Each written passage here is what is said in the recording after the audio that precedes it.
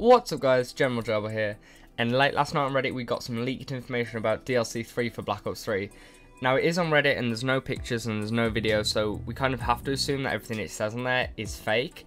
But some of it adds up to the stuff we've had in previous snaps, but that could have also been construed, construed just by common knowledge, just by like guessing at what it could be, but the post reads as follows. Hello, I originally planned on being anonymous when I posted this, but I decided to post it regardless.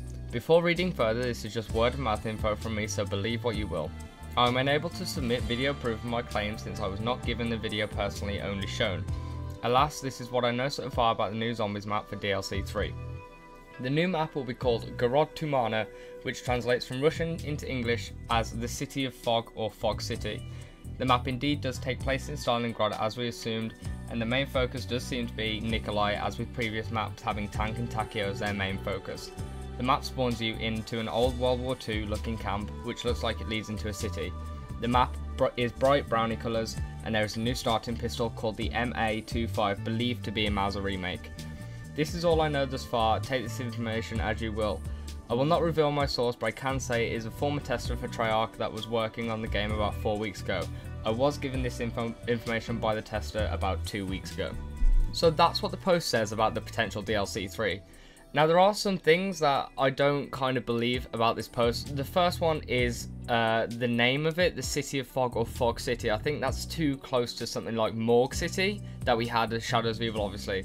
I don't feel that, uh, like that is a translation and I do feel like Gorod Tumana could translate into that, but I feel like they've already done the whole translation thing with uh, Zetsubou no Shima.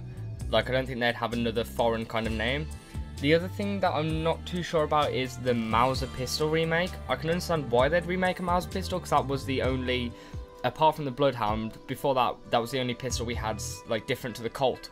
But I don't see why they'd put the Mauser in this map when we had the Mauser in the penultimate map on Black Ops 2. Like Origins was the last map where everything kind of tied together for that game. So I think they would have more put the Mauser into a, the penultimate map of Black Ops 3 rather than the third DLC, because then you've only got to try and like make a better starting pistol or like a better weapon for the this starting pistol on the last map pack.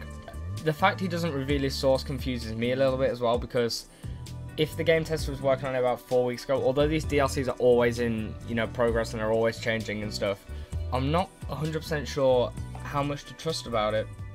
So in all, that was the Reddit post that was posted late last night with that information, you can do what you will, you can believe what you want of it, but I'm, I'm still a bit skeptical about it. And you know, when we get the official, if they do a live stream for DLC 3 reveal or they just put up a trailer, that's when we can compare it against this post. But uh, all in all, that's all I've got to say on this subject. I've been General Gerbil. Thank you for watching, and goodbye.